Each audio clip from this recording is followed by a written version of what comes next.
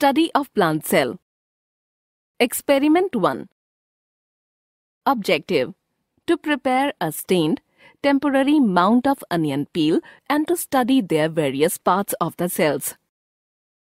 Materials required Onion, plain slides, cover slip, watch glass, needles, forceps, brush, blade, safranin, blotting paper, distilled water, glycerin, and compound microscope.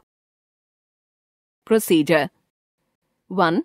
Take a piece of fleshy, scaly leaf of an onion and with the help of forceps, gently pull a thin transparent peel from its lower surface.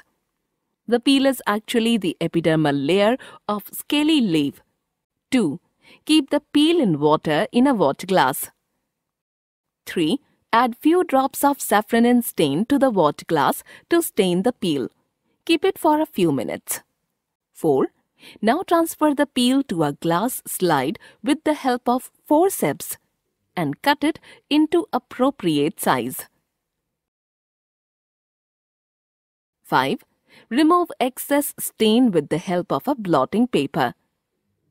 6. Add a drop of glycerin over the peel and put a cover slip gently with the help of a needle. Care should be taken to avoid entry of air bubbles.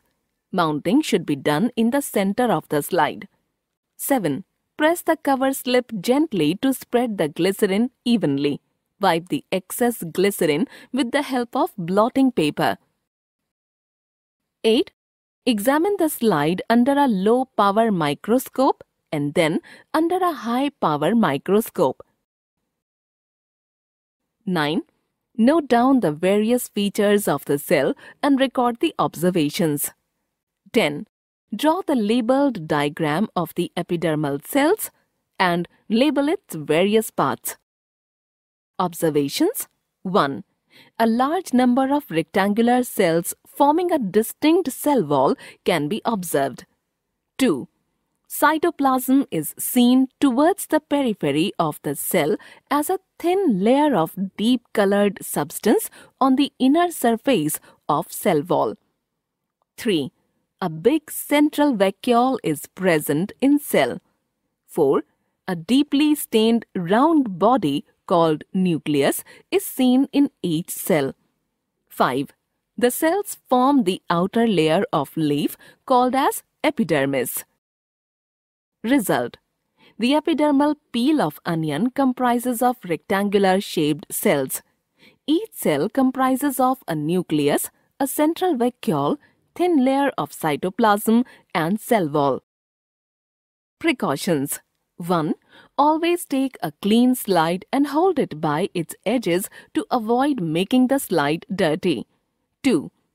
Peel should be properly stained. Avoid under or excess staining of peel. 3. Always transfer the peel with the help of a brush. 4. Mounting of peel should be done in the center of slide and avoid folding of peel. 5. Remove extra glycerin with the help of blotting paper. 6. Avoid entry of air bubbles while placing the cover slip.